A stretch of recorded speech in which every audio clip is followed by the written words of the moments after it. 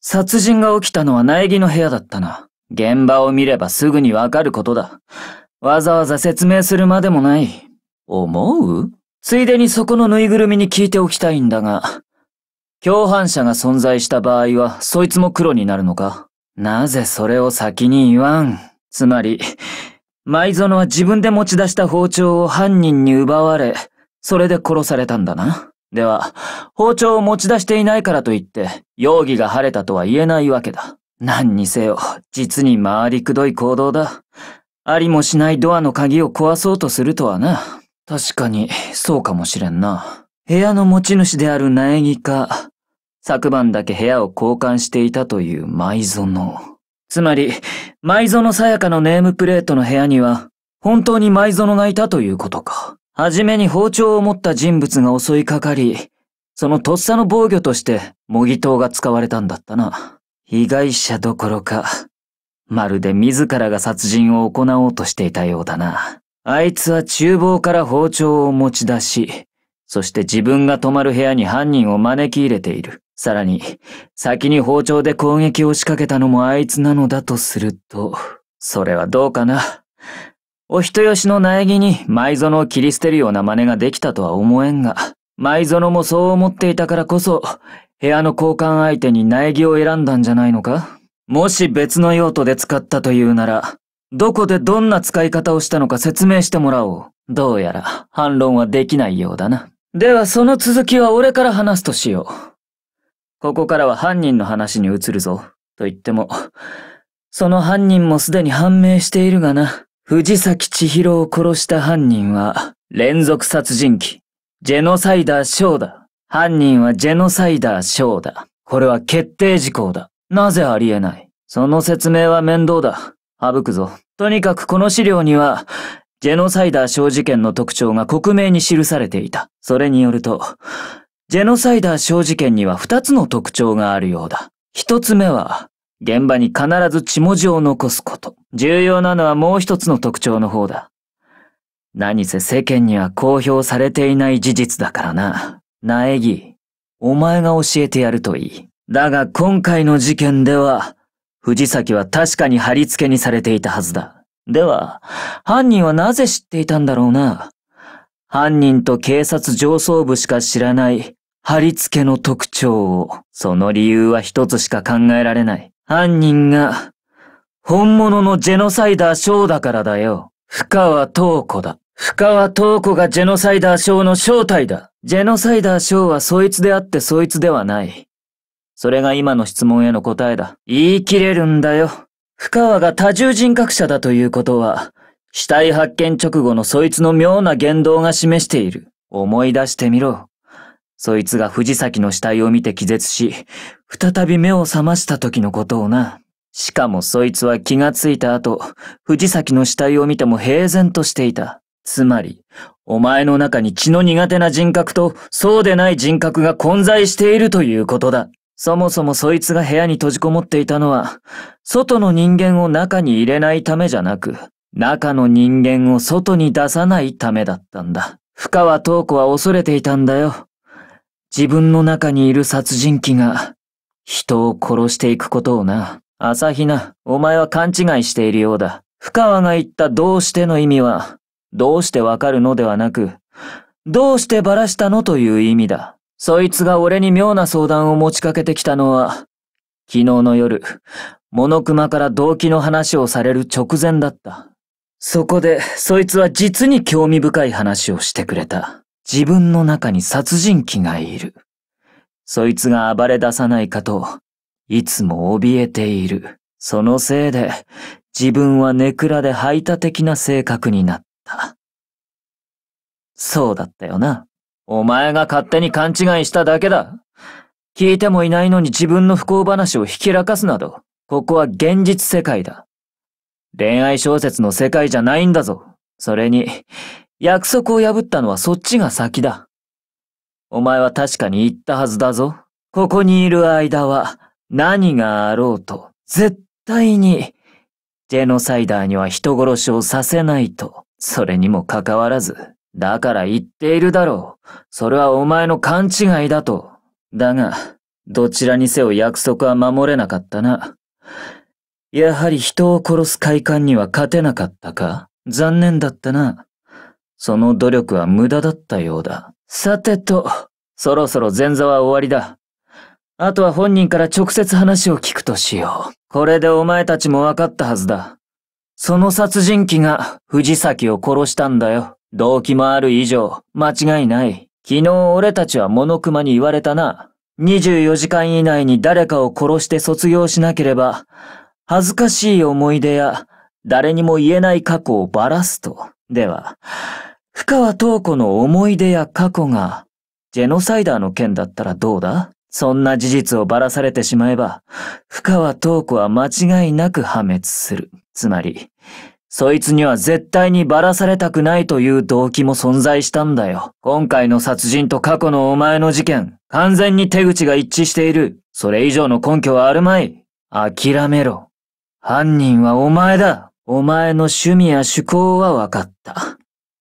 だがそれは、あくまで趣味や趣向の話だ。生き残るために殺人を犯さなければならない場合は、話が別のはずだ。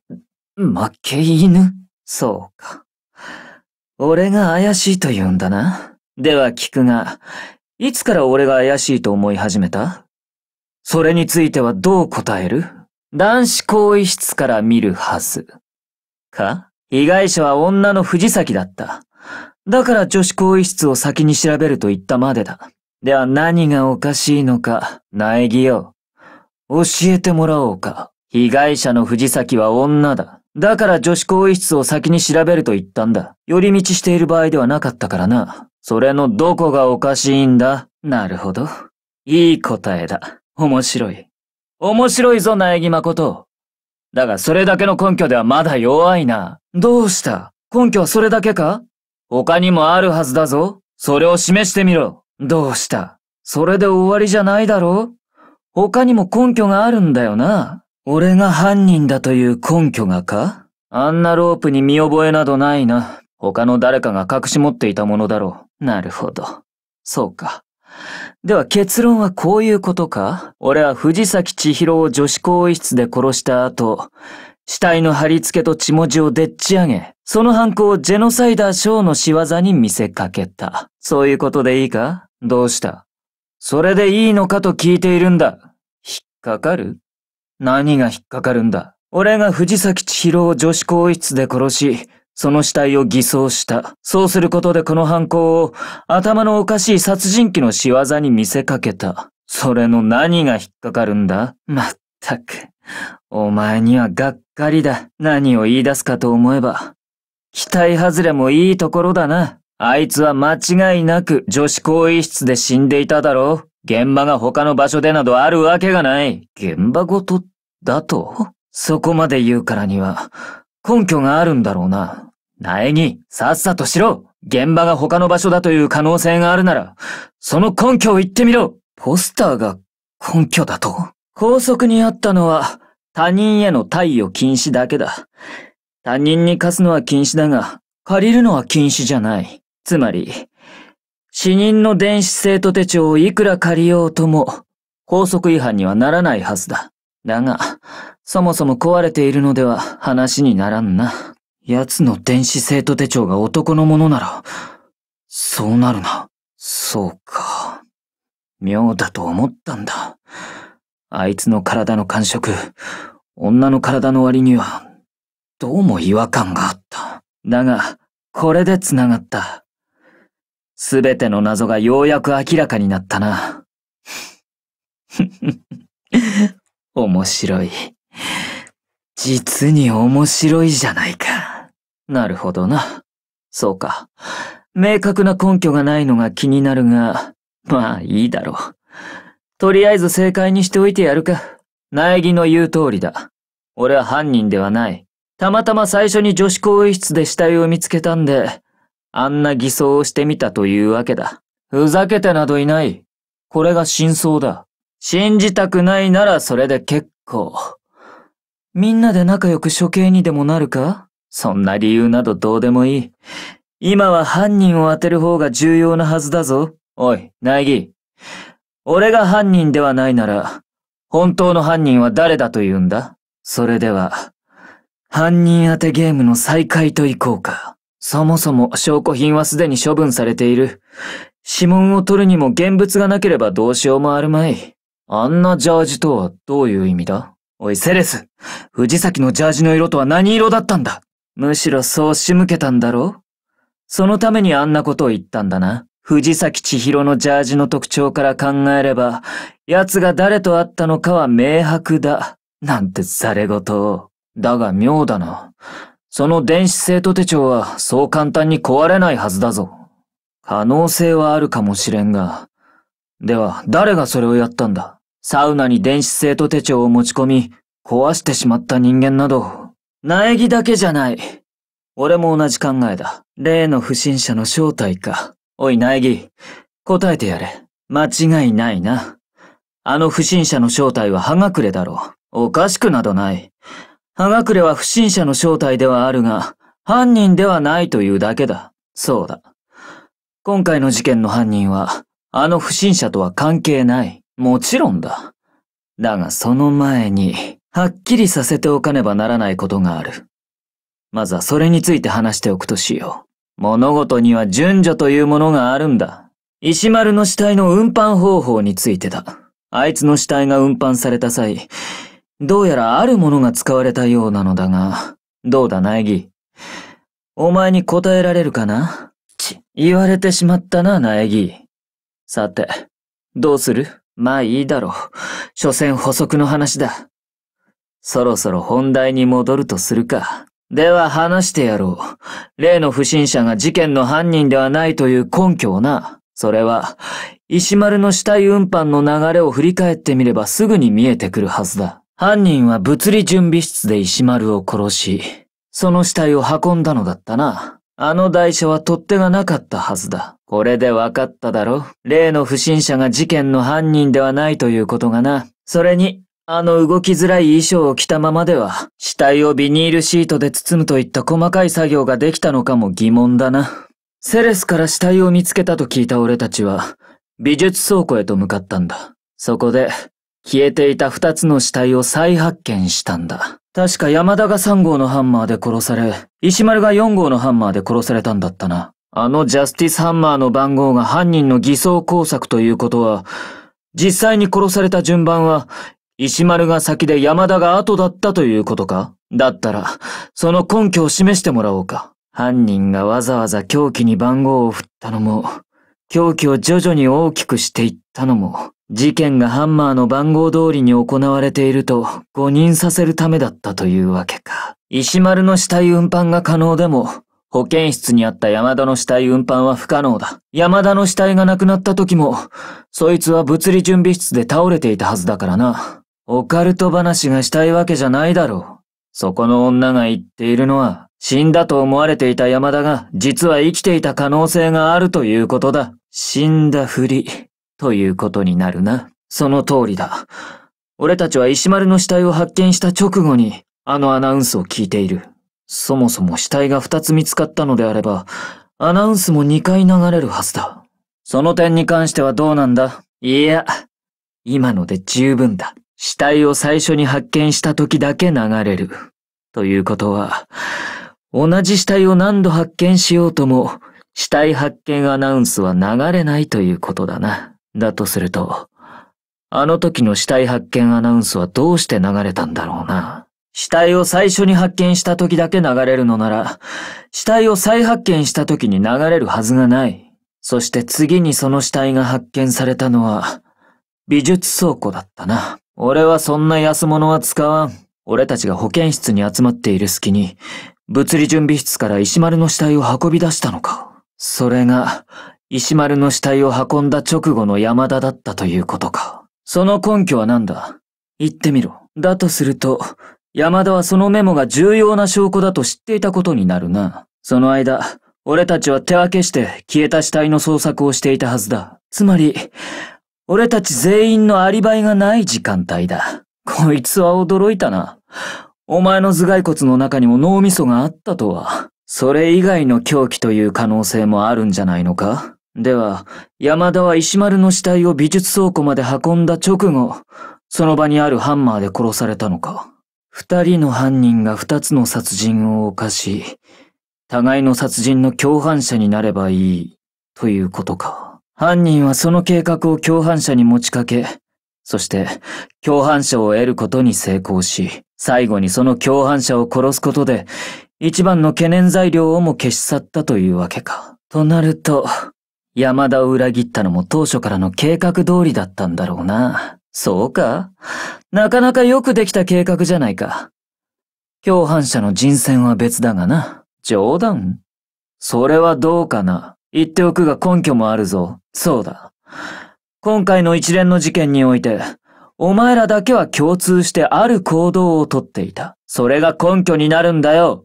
お前らが組んでいたことのな。でしゃばるな。苗木の言う通り、例の不審者を目撃しているのは、山田とセレスの二人だけだった。その山田が犯人の一人であれば、もう一方のセレスの証言も怪しいと見るのが当然だ。図書室で怪我をした山田を保健室に連れて行った後、俺たちは全員で不審者の捜索を始めたな。その直後のセレスの言葉を思い出してみろ。あの証言があったからこそ、俺たちは2階へと移動したんだ。そこでセレスは、俺たちを3階の物理室へと誘導するために、あの時悲鳴を聞きつけて3階に集まった俺たちに、セレスは何と言った？そうやって俺たちを物理室に向かうよう仕向けた後は、もう一人の相方の出番だ。現に、二手に分かれようと提案したのも、セレスだったはずだ。どうだ？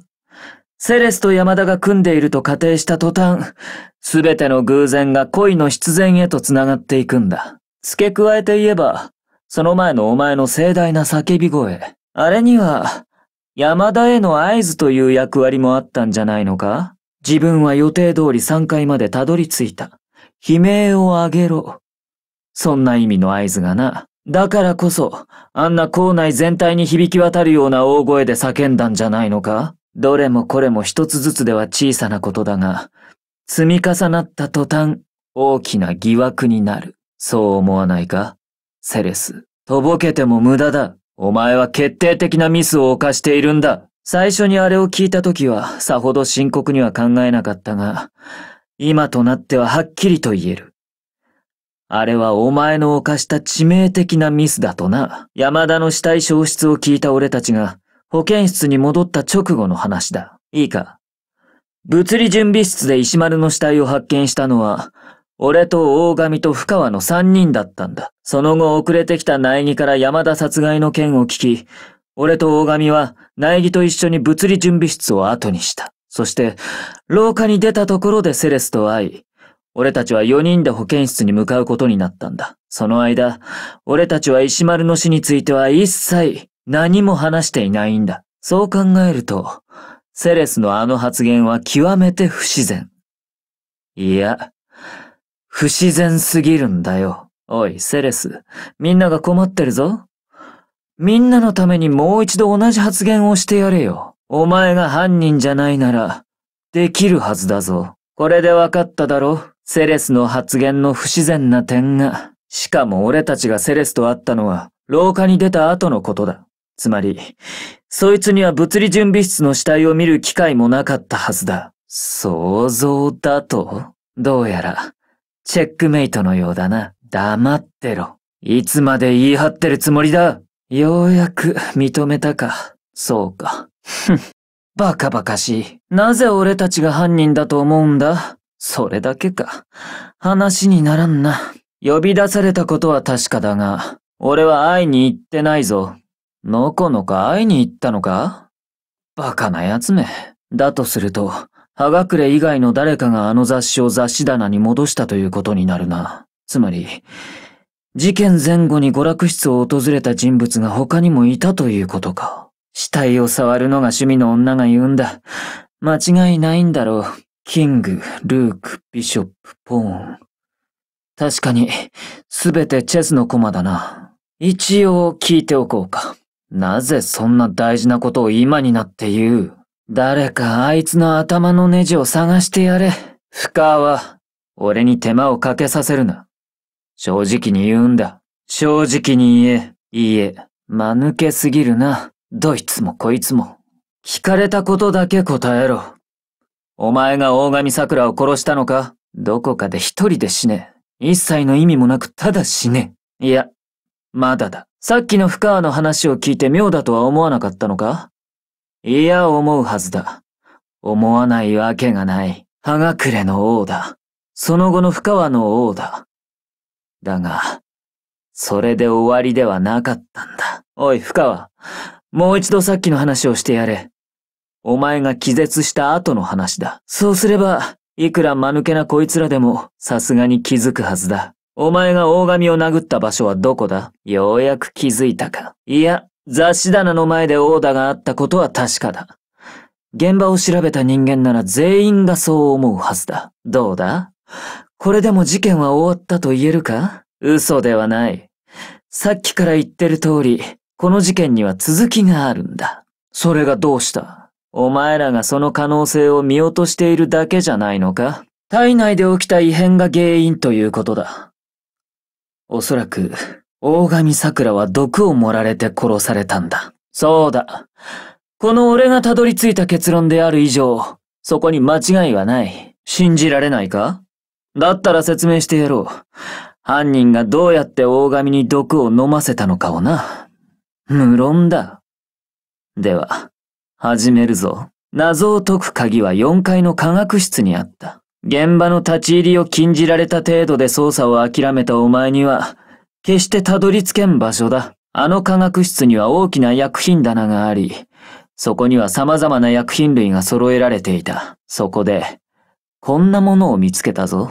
そこまで強い毒ではないが、それなりに飲めばそれなりに死ぬ。だが、この毒の性質などはどうでもいいんだ。問題は、この毒薬の置いてあった場所だ。科学室の棚は A と B と C の3つに分かれていた。A の棚には栄養剤。B の棚には試薬。C の棚には劇薬や毒薬の類が置かれていたな。さあ、どうだろうな。妙だろう？なぜ栄養剤が置かれている A の棚に毒薬の瓶が紛れ込んでいたんだろうな。これが犯人が行った入れ替えの副産物だからだ。こういう意味だよ。まずいな。確かに吐き出したくなるような味だな。これのどこが高級品だ。もちろんプロテインの話だ。ああ、構わないぞ。そうだ。その瓶に入っていたのは毒薬ではなく、プロテインの粉末だったんだよ。だとすると逆に、本来この瓶の中に入っていたはずの毒薬は、どこに行ってしまったんだろうな。そうだ。毒薬とプロテインはそれぞれ中身が入れ替えられていたはずなんだ。プロテインの中身は毒薬の瓶の中に。毒薬の中身は、プロテインの容器の中にな。そして、そう考えれば、犯人が大神に毒薬を飲ませた方法も見えてくるんだ。犯人は大神に、現場にあったあるものを渡すことで、毒薬を飲ませたはずだ。しかも毒薬の入ったプロテインの容器だ。犯人はそれを渡すことで、大神に毒薬を飲ませたんだ。それこそが、あいつの本当の死因だったんだよ。そこで差し出されたのが、毒薬が入れられたプロテインの容器だったんだ。そして、その入れ替えを行った人物の正体も、すでに突き止めているぞ。薬の入れ替えを行った人物を示す証拠は、科学室にはっきりと残されていた。今朝俺が科学室を訪れた時は、あそこに足跡など存在しなかった。つまり、あの足跡が付けられたのは事件前後のことだ。とすると、事件に関係しているのは間違いない。しかも、足跡が残されていたのは A の棚の前だった。プロテイン入りの毒薬の瓶があった棚だ。おそらく、A の棚で毒薬とプロテインを入れ替える際、犯人が足跡を残してしまったんだろう。そして、あれだけはっきりと足跡が残っていれば、誰のものか割り出すのは容易だ。今すぐ俺たち全員の靴を調べるぞ。そうすればすぐに、やはり、俺の睨んだ通りだったな。あの足跡はどう見てもスニーカーのものだった。そして俺たちの中でスニーカーを履いている人物といえば、そしてこの足跡はおそらく、苗木のだな。なら靴を見せてみろ。足の大きさを確かめてやろう。あの足跡が苗木のものではないなら、残る可能性は、ついでに言えば学級裁判に入ってからの朝比奈は、何やら様子がおかしかった。やけに投票を急いでいたよな。それは自分の罪を他人に押し付けるためだった。だから結論を急いでいたんだろう何が信じられないと言うんだ。親友同士だからこそ、チャンスだったんじゃないか？親友である朝比奈から渡されたプロテインなら、大神は怪しむことなく口にしたはずだ。親友。朝比奈はその関係を利用したんだよ。そうすることで被害者である大神を騙し、さらには俺たちをも騙そうとしたんだ。朝比奈よ。お前にしては、なかなかえげつない方法を考えたもんだな。今なら殺せる。そう思ったんだな。それで薬の入れ替えを行い、毒薬入りのプロテイン容器を渡したというわけか。まさかお前まで親友を殺すはずがないとでも言うつもりか？まだわからないのか。このゲームはそんなに甘くないんだ。友情なんて甘い考えは通用しない。他人を出し抜き、蹴落としてこそなんだ。他人のために自分を犠牲にする人間など存在しない。誰もが最終的には自分のことだけを考えるんだ。その女が、自分のために大神を犠牲にしたようにな。いつまで言っている。まさかお前、朝比奈は犯人ではないというつもりか？ありえん。薬を入れ替えている以上、犯人は間違いなく朝比奈だ。何がだ？勝手にしろ。朝比奈が犯人なのは明らかなんだ。他に怪しい人間もいない。朝比奈以外の真犯人など、いるわけがない。何度聞いても同じだ。まったく、いつまで続けるつもりだ。もういいだろう。いつまで続ける気だ。おい、どういうことだ、朝比奈。な、なんだ、これは。どういうことだ？何が起きている？なんだと？新しい証拠だと？バカな。そんなものがあるはずない俺が？言ってみろ。そこに何があったと言うんだな、んだ、その破片は？苗木、言ってみろその破片が何だと言うんだ窓ガラスだと。待て、話が飛躍しすぎだ。確かに、毒薬の瓶は密室時の娯楽室にあったのかもしれん。だが、プロテインの容器が持ち込まれたのが密室が破られた後だとは言い切れないはずだ。それに、大神が毒を飲んだのは、毒が入ったプロテインの容器を渡されたからだろう。プロテインの容器が現場になかったとすると、大神はどうして毒を飲んだんだ？何の話だ？誘導尋問か？身に覚えがないな。いい加減にしろなぜ言い切れる？俺にわからんことを、なぜ言い切れる？いや、そんなはずはない。あれは、ずっと娯楽室にあったはずだ。もちろん、密室が破られる前からな。お前が割った窓ガラスの破片だったな。それがどうした？な、なんだと？そ、そうか。そういうことか。さっきキリギリがあの容器を蹴飛ばした者がいないかと聞いていたのは。だとすると、大神が毒を口にしたのはなぜだ？毒の入ったプロテインの容器を受け取ったからこそ、あいつは毒を飲んだんじゃないのかでは、大神は毒と知りつつ、その毒を飲んだということかそんな、馬鹿げた話が、話してみろ。いや、話してくれ。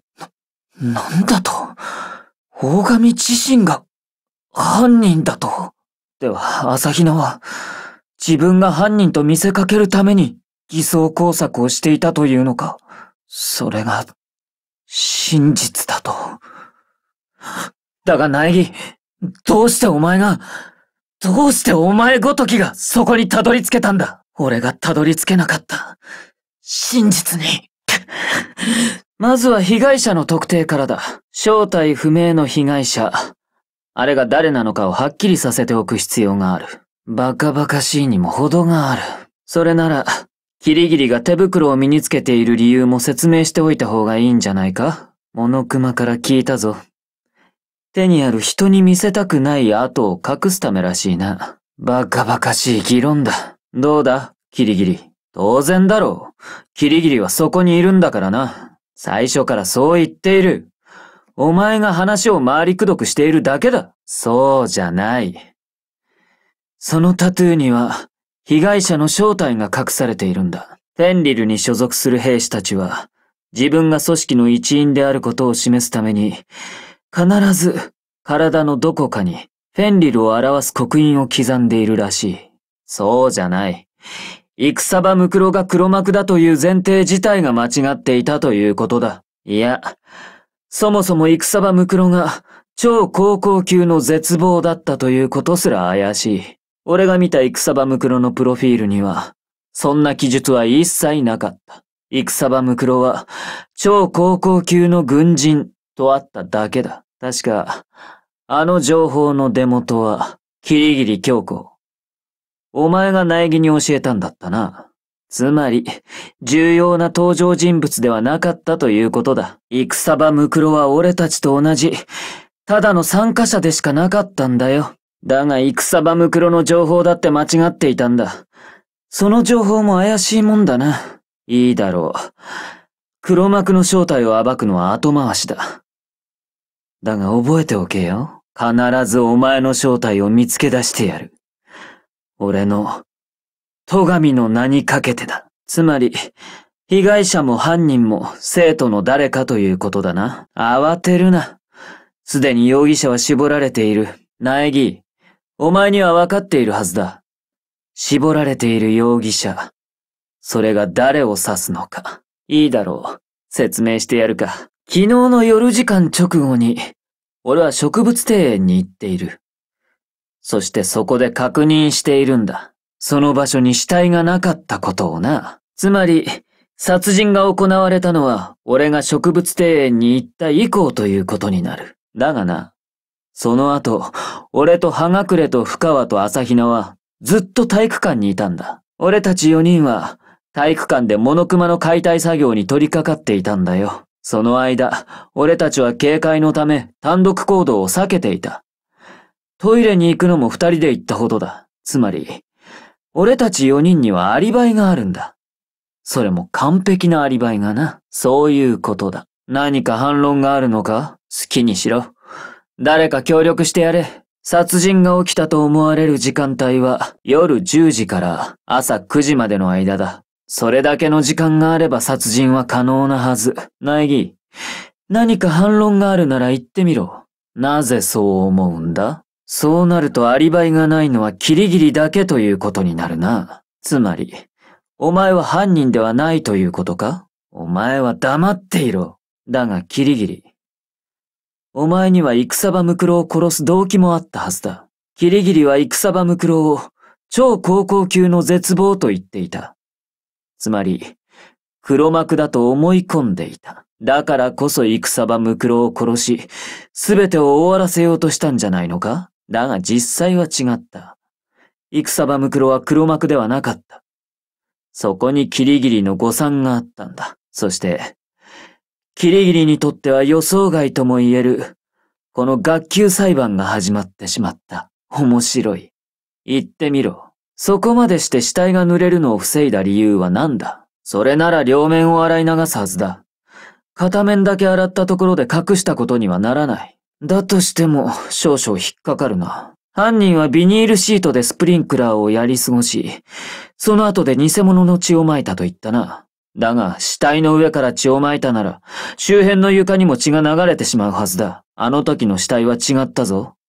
血で汚れていたのは死体の服だけだった。周辺の床は全く汚れてなかった。確かに、その方法なら7時30分よりも前に殺人を実行することが可能だな。どうやらキリギリの言う通りのようだ。苗木のアリバイは不十分だ。さてと、振り出しに戻ったな。苗木のアリバイが不十分となると、容疑者は苗木とキリギリの二人ということになる。なんだ？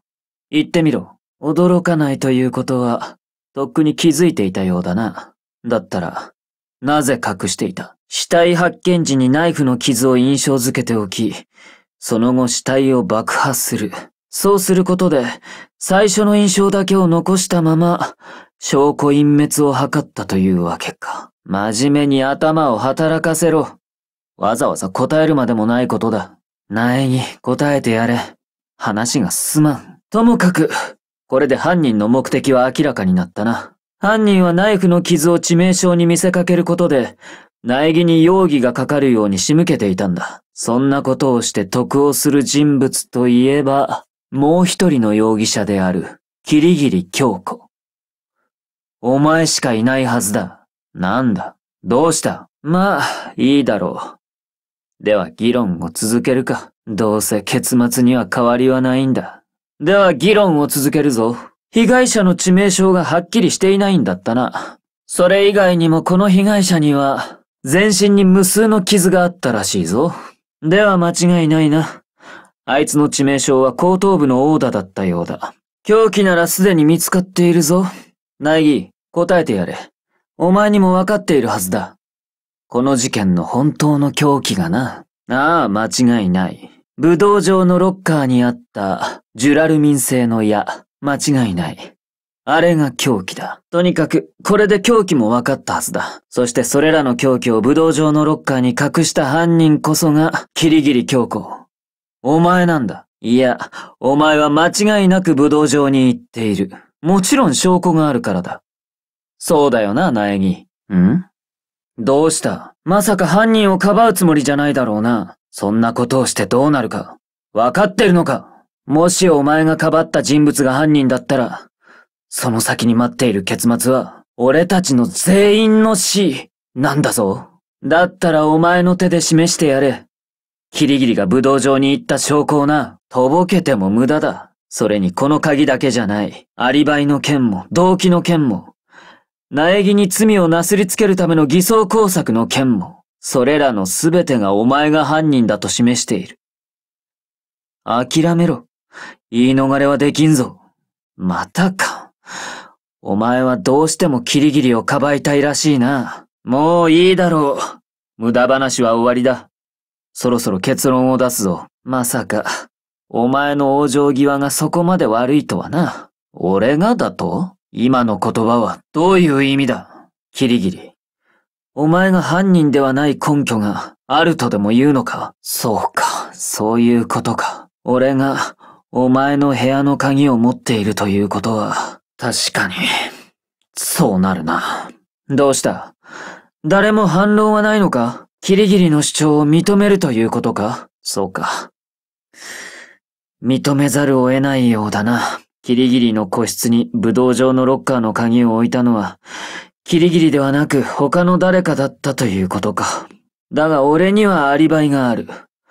夜時間以降はお前たちとずっと一緒だったはずだ。植物庭園での殺人も、キリギリの部屋に鍵を置くことも、俺には不可能だ。考えられる可能性は一つだけだ。あらかじめ自分が持っていた鍵を、あたかもその場で見つけたようなふりをした。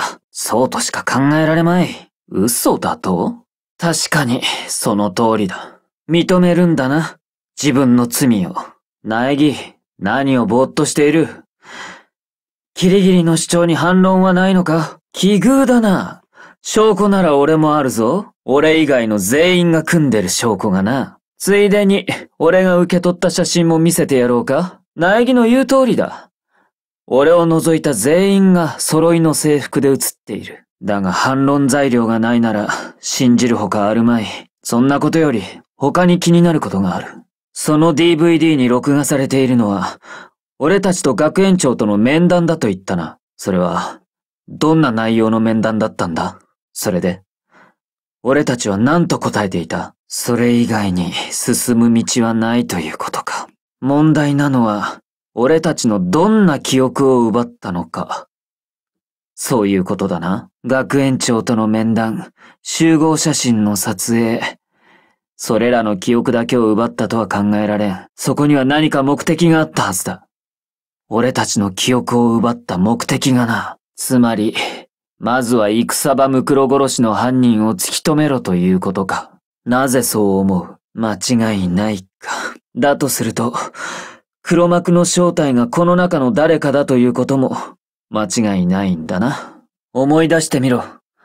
苗木が聞いたというモノクマの言葉だ。つまり、黒幕がこの学園の中にいるなら、その16人の誰かだとしか考えられないはずだ。それもそうだな。言い争いをしているより、そっちの謎の解明に頭を使う方が得策か。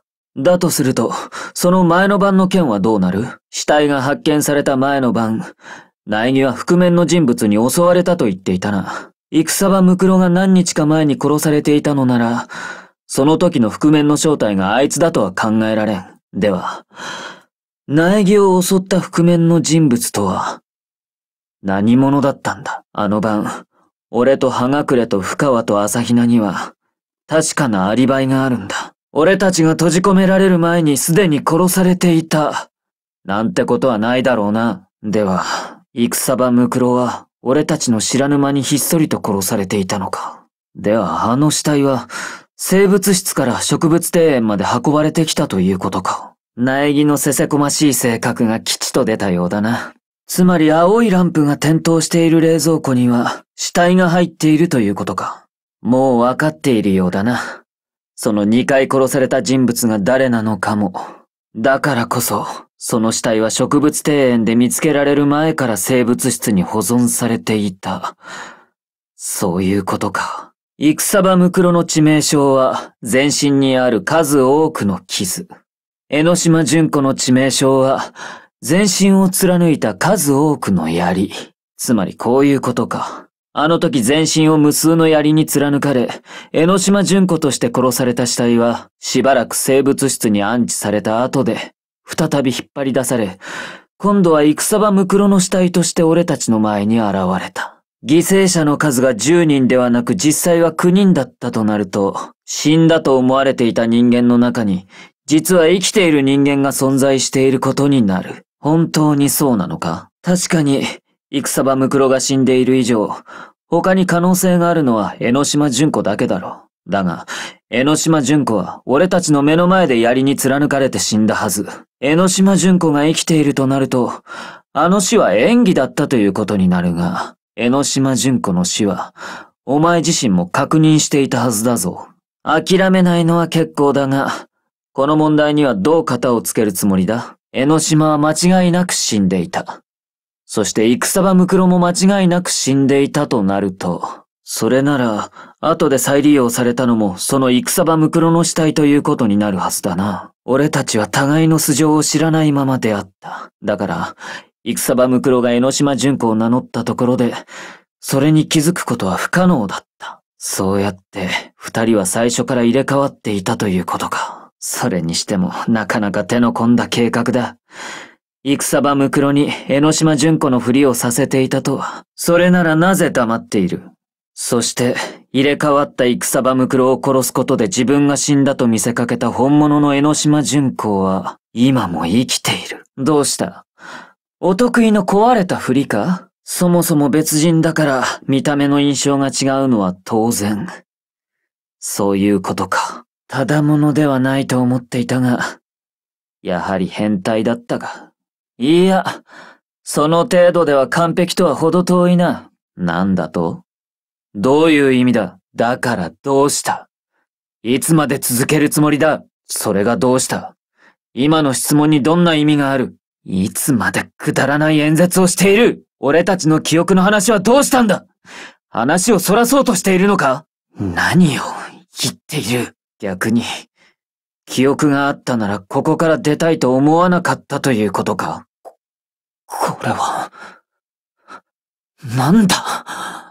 さっきの映像はなんだ？また、お前の悪ふざけか。深川、お前だけが頼りだ。担当直入に、俺の質問にだけ答えろ。あの映像に関して、お前は何か心当たりがあるか。そんなことより、覚えているなら答えろ。あれは、何なんだ？大惨事？いいから答えろ。外で何が起きたんだ？なぜ、その言葉がここで出るんだ？詳しく話せ。知っていることをすべて話すんだ。あいつに聞いてもわからんから。わざわざお前に聞いたんだ。くだらん馬鹿げてる。なんだと、何を。言っている。ふざけた冗談はやめろ。滅びるわけがない。戸上家は、世界を滑る一族だ。現実離れ、しすぎている。その理由が、空白の2年間。